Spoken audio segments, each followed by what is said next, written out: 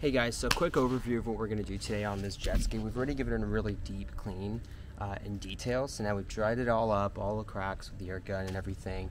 Um, we've just got to now clean the, uh, we've got to correct the paint, so we're going to use, uh, just to show you really quick. So we've got our trim, which is for our plastic trim on the jet ski. We've got our marine for all the, um, all the paint surfaces. This is our cutting pad, which we're going to use on our 3 inch uh, Rupes polisher. Uh, we've got our finish here and our cut there. So, um, stay tuned. Check out some of this uh, footage, and if you have any questions, please make sure you know what to do.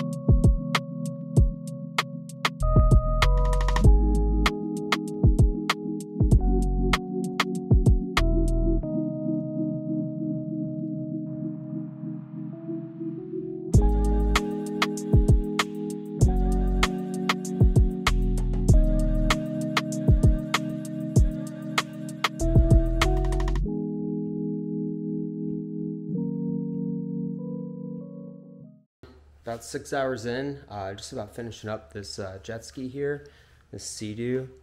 Um, just want to show you what we did. So we did a uh, full paint correction. So we did a detail. We uh, did a really deep clean, got all the grooves, all the cracks, all that, blew out all everything.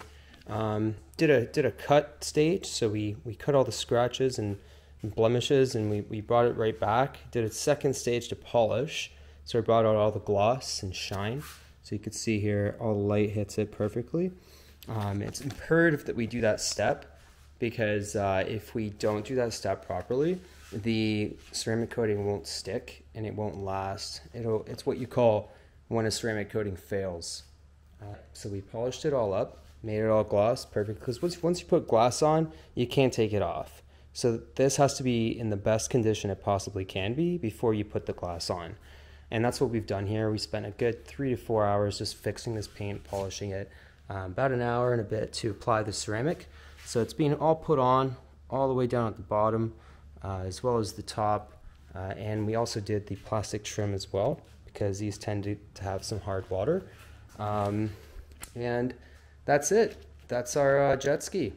So if you're looking for um, a ceramic coating or some way to protect your boat, or small jet ski from UV rays, salt, um, and just like regular wear and tear, especially marine water, what we suggest is uh, is the Eco Ecocoat Marine.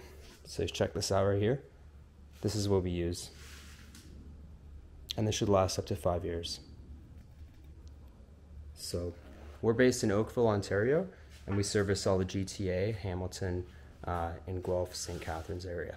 So give us a call or just send us an email and we'll be there. Thank you very much for watching. Subscribe and uh, send a comment or um, share it with your friends and just all the support would be amazing. Thank you very much. Have a great day. Bye.